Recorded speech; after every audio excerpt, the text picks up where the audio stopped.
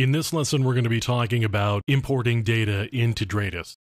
There are a number of different types of tools that Dradis can work with, and one of them is Nessus.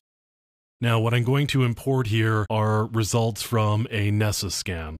And I'm going to import from file. You can see the menu item up here. And I'm actually going to use the new importer. And I'm going to leave this alone for a second. This is the log where I actually started the Dradis server. You can see the log file here, and it's just scrolling along here. It's kind of doing a tail minus F.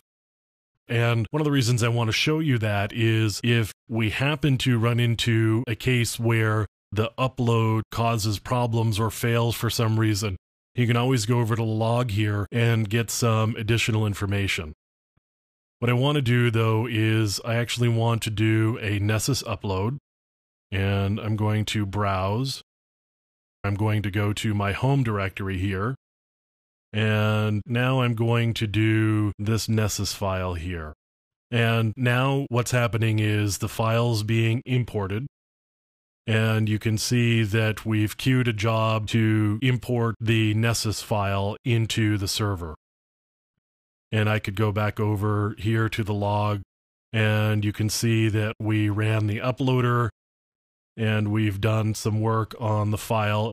If I come back over here to the Dradis framework, I've got uploaded files here as a category now.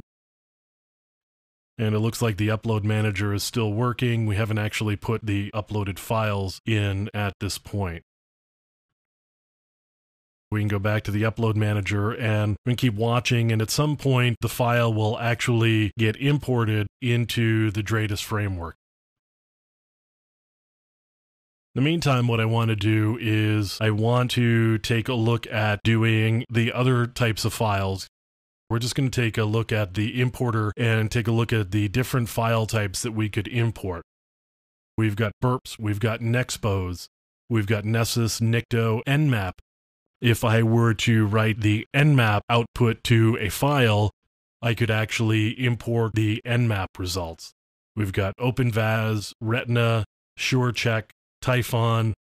Here's Zap, which is the Z-Attack proxy, which is the proxy-based scanner and web vulnerability tool by OWASP.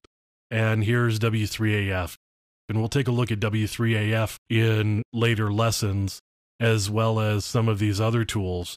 But in the meantime, I just wanted to show you the different plugins that are available that give you the ability to install or upload a number of different file types or outputs from these different tools so that we can put them into Dradis and help be able to categorize and organize all of that different information here.